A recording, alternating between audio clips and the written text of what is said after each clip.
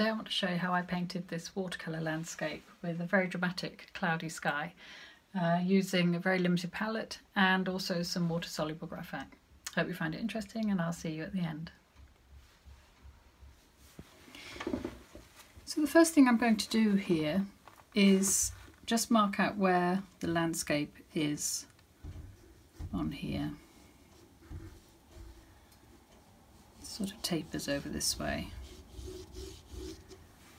and it's very dark against the sky and the water.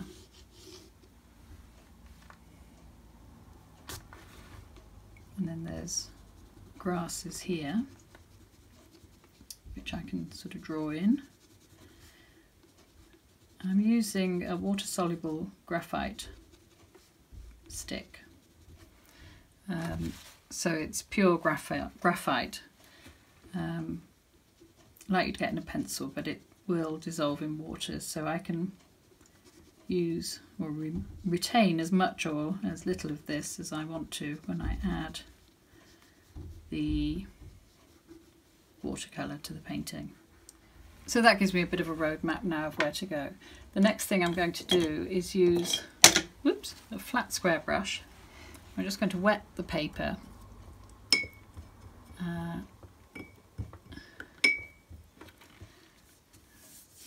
slightly dirty brush, but that really doesn't matter too much. A little bit grey from the previous painting. So I'm going to put lots of colour in here. I'm doing it roughly because I don't want a dead flat wash, so a bit of life in the brush marks is fine. And you can see it's sort of loosening that graphite there. Um, and just, I'll show you my colour chart here for the watercolour set that I've got. This is a really nice thing to do when you get your watercolours, is to actually sort of paint a little uh, square of each colour and give it its name. And then you can see exactly what's in the set that you've got and it gives you lots of good ideas. What I want to do next, I think I'm going to um, paint onto this in a washy sort of way with some raw sienna. No, maybe I'll go for cadmium yellow because that's a bit more golden. There is some nice, I'll put that aside, sorry, uh, glowing sunlight.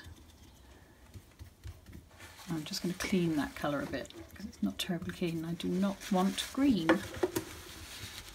in the sky.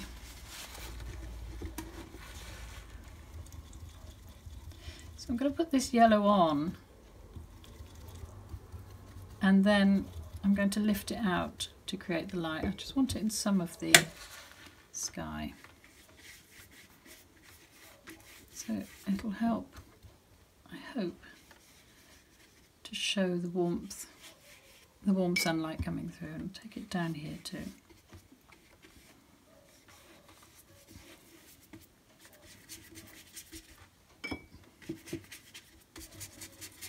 Just soften it here and there so I can lift that out.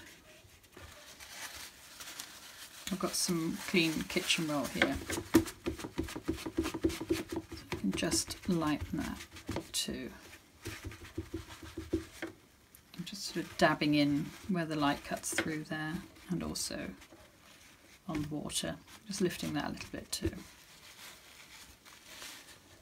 Okay, let's see how wet that is if I tilt the board can see the shiny wet areas like down here there's puddles here so I want to keep the paint off of that but actually the top part is okay it's not too bad at the moment if you can see puddles on it you know there's an awful lot of water sitting there and it will dilute and make your paint spread and possibly turn into cauliflowers. I'll rinse that brush and pick up another one. So it's um, it's an artificial bristle on there. But it's a good all-rounder, that brush.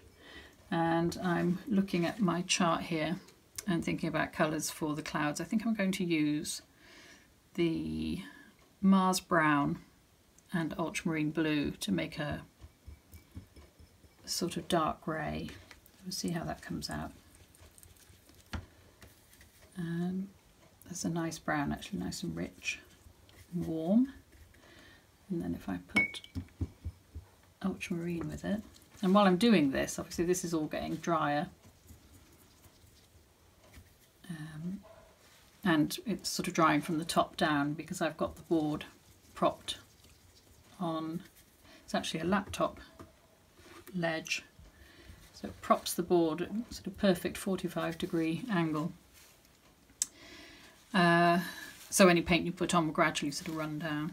It tilts it towards you too so you get a better view of your own work. I'm going to put on these dark clouds now. I'm hoping that's dark enough to make it a little bit more. Oops. You always need plenty of paint. You use a lot doing this. That's nice, okay. And it's not thoroughly mixed. I'm hoping I'll get a little bit of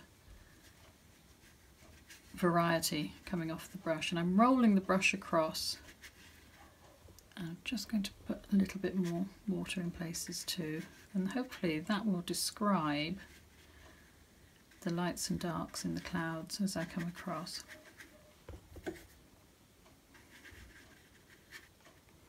Go right up to the edges too. You can go over the edges a little bit but you know you don't want your clouds to be sort of within the frame Obviously they're much bigger than that, so they'll go over the edges. I'm using a little bit of water, a little bit of paint, just to try and get the variety of tones in the cloud. It gets dark and dense in the middle here, but then lighter at the edges where the sunlight is coming through. Draw that down here too. It doesn't have to be exactly like the photo, but it's got to have the same kind of feel because yeah that's what we're dealing with. So I'm kind of softening the edges a bit. I can dry the brush, rinse it and dry it. Don't want all these spots around the edges so I can just take those up with a sort of damp brush and it'll pick up a lot of the dribbles and splodges. And again, you know, dip dip and blot all the time with the brush. That's nice, and that yellow is doing a nice job underneath there too. Uh, and got a little bit more colour, I'll put this underneath here now. So this is, I'm hoping, need that slightly lighter as it comes down the sky, I think. Um, I'm going to put that on, water it down and put it on up to the big cloud and then lift it out because there's such soft edges on here.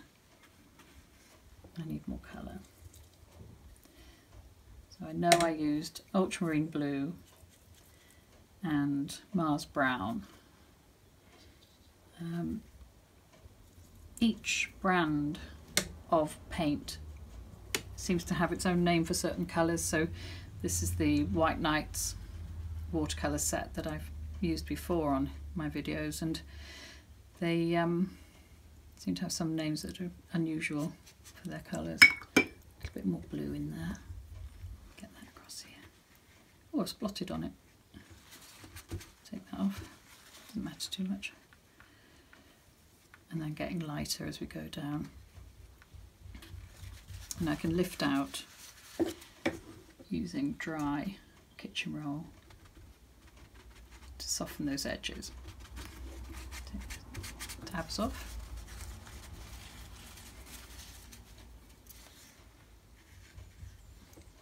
Don't want to fiddle about with it too much. Ideally you put the paint on and leave it alone.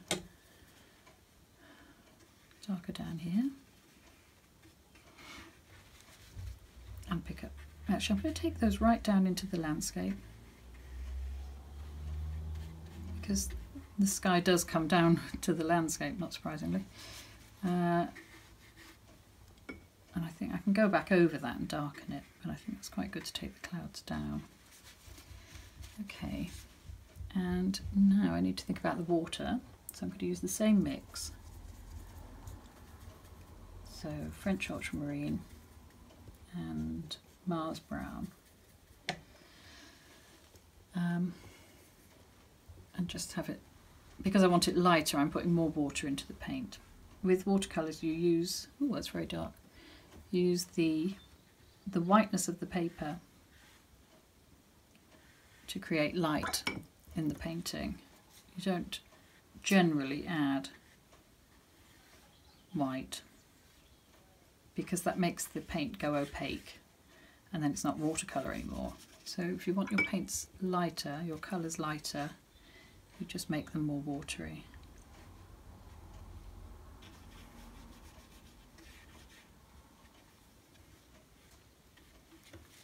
Okay. And again, I'm, I'm going to let that go over that front edge too. And then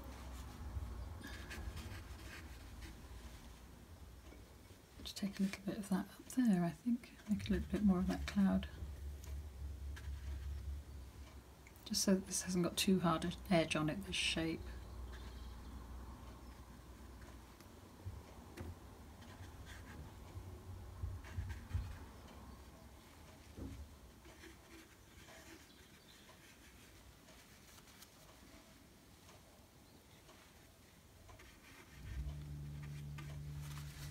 and then the dry kitchen roll. My paper is really bulging where it's wet, so I'm going to let it dry for a minute.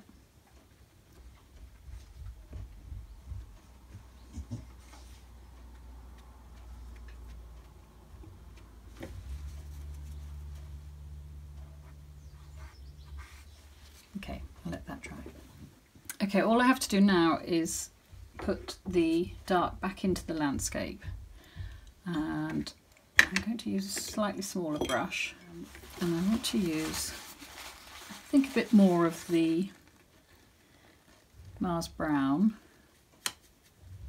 Make it a little bit stronger this time because I want this to stand out um, like a silhouette almost but not entirely flat but it's certainly silhouetted against the light sky.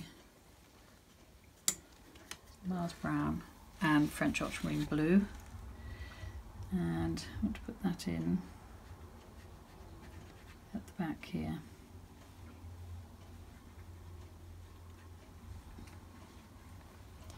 And just, I've got the brush on its side and I've, I've got a kind of handlebar grip here because I don't want this to be too strong and too solid so I'm kind of letting it scuff across the bumps in the paper a little bit as I put this on. Just find some of the shape in the landscape there.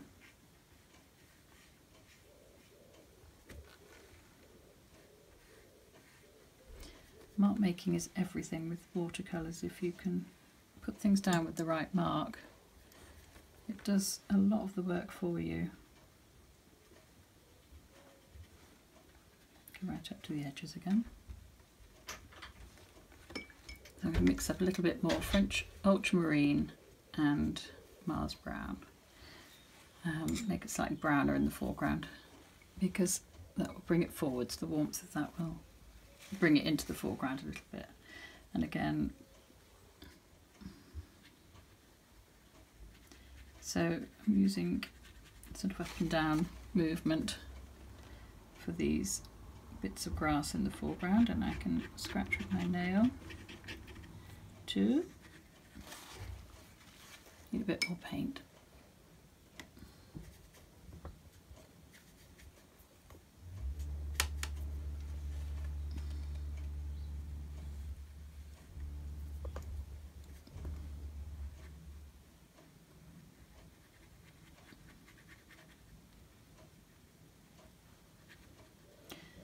and it gets higher here.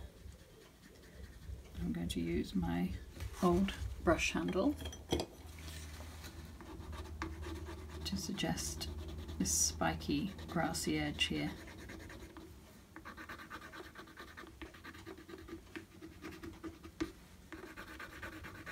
That's dried off now. When it's wet you can drag it up and create textures in it and the paint will be drawn to the scratched line you scratch into drier paint, it leaves a white mark. If you scratch into wet paint, it will be a dark mark. And I can put more paint on there too, which will make these darker again.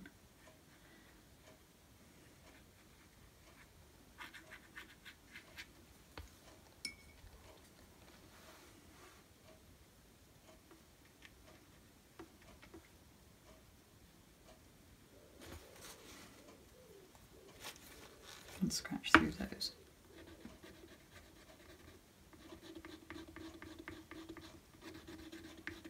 Each clump of grass has its own reflection in there. Okay, um, I'm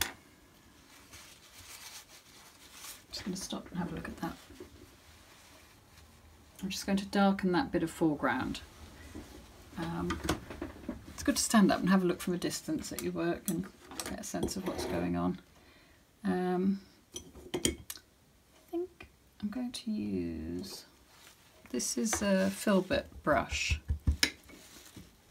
quite a large brush, but I'm hoping it'll give me the right shapes. There's some dark reflections of the clouds in the foreground that help to make the water look brighter, um, more shiny because of the contrast. This darkness in the foreground contrasts with the, the light on the water. I'm going to try and get that in. Slightly blue too because of the, the sky. So touch of brown, but mostly French ultramarine. And then that comes across here. Um, and going back there.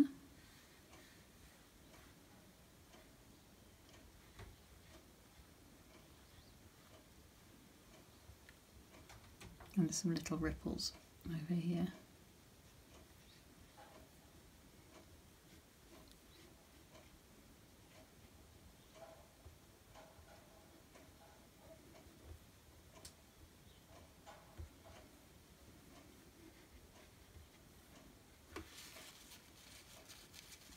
There's a few little pylons in the distance, and I'm just going to suggest those. Whoops.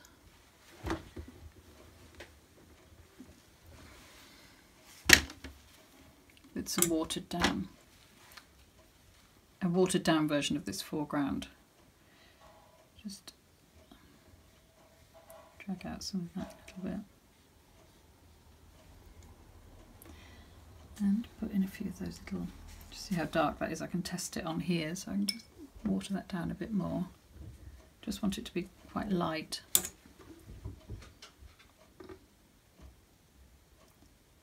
And just putting some of these things on the skyline.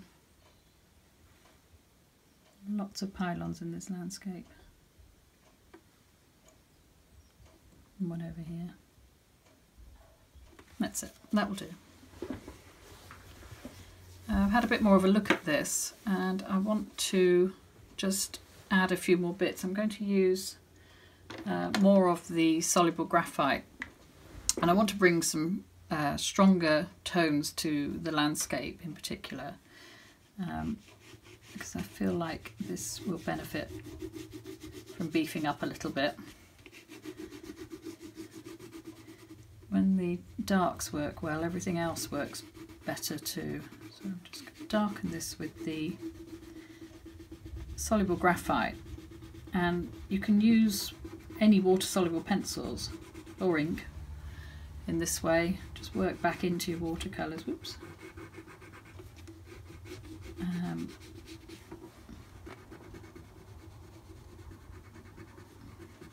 rather than keep adding watercolour because that can sort of take some of the life out of the work. I really want this foreground to be dark too.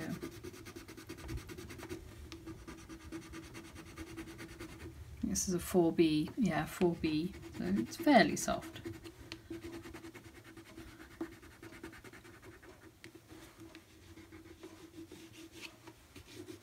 And also, I think I'm going to put more uh, into the sky, more cloud darkness because as it's dried this has gone quite pale and I think this could really do with building up a bit. We'll see how it goes. Might all go horribly wrong and then I'll do another one. Okay. In fact I'm going to wet it with water first.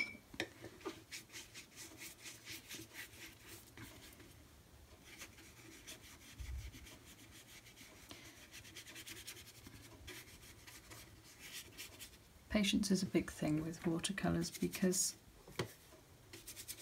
they can easily get overdone.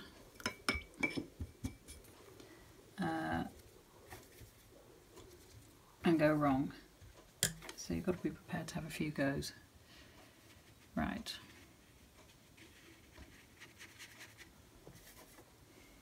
Using a different brush, but it seems to be going okay.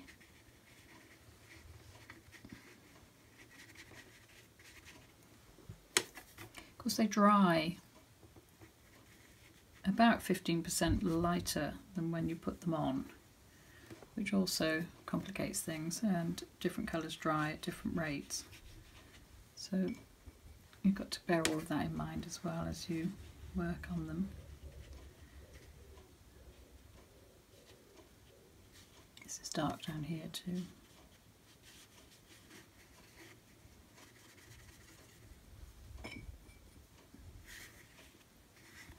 That's better.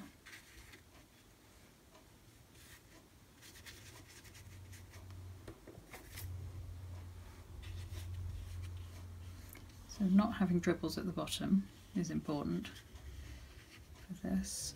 So as they dribble down, I'm kind of picking them up and working them across those blobs.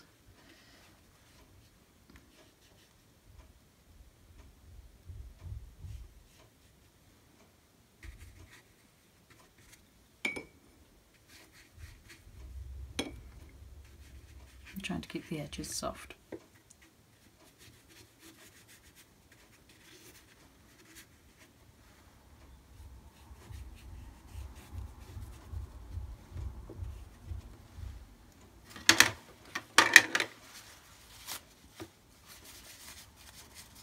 with a bit of kitchen roll, see if I can soften this more and lift out.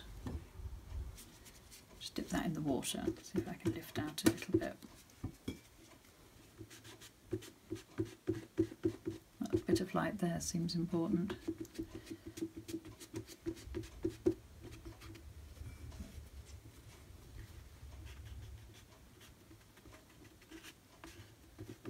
And through here.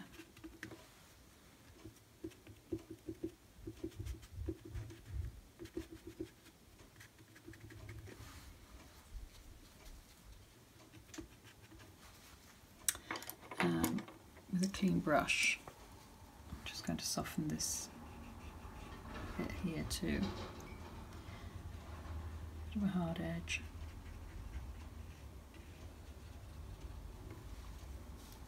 Yeah, I like that better now. If it stays that way. Obviously this paint drifts and soaks in and moves around as it dries. But I'm not going to try it with the hairdryer this time because I want the paint to flow a bit. The hairdryer kind of halts it in its tracks, so I do want it to flow a little bit. And I think this is going to be okay this time. Okay. So thank you for watching. Uh, if you've enjoyed the video, please click subscribe and like at the end. And I hope to see you again. Bye bye.